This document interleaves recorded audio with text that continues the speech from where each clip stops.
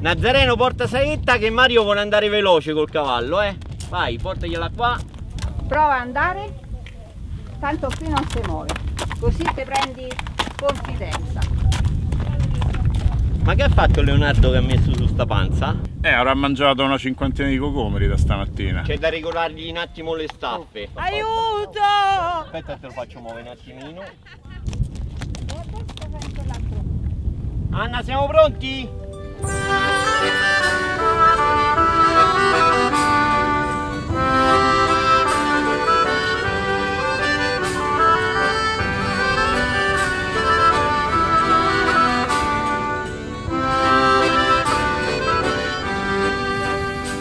Andiamo ragazzi a visitare l'insegnamento alto medievale denominato Cencelle, che sarebbe la vecchia Civitavecchia, che si è spostata qui per l'attacco dei saraceni che venivano dal mare.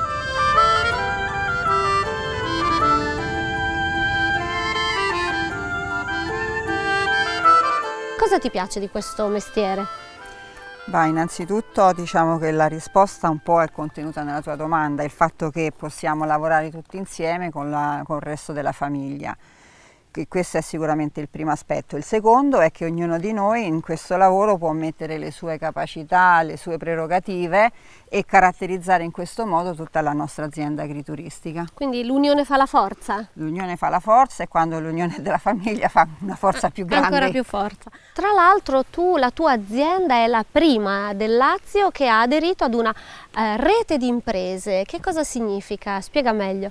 Significa l'insieme di più aziende, nel nostro caso in particolare sono sia aziende eh, eh, agricole in senso puro che aziende agrituristiche, che cooperano per far vivere in un modo diverso, migliore e più intenso il nostro territorio alle persone che vengono per scoprirlo. Infatti tu Anna eh, nel tuo agriturismo proponi tante attività in collaborazione proprio con altre realtà del territorio. Certo Francesca, proponiamo escursionismo a cavallo, proponiamo gite in bicicletta, proponiamo laboratori didattici, tutto questo per far sì che i clienti vivano personalmente attraverso la forma che loro preferiscono quella che è la peculiarità del territorio.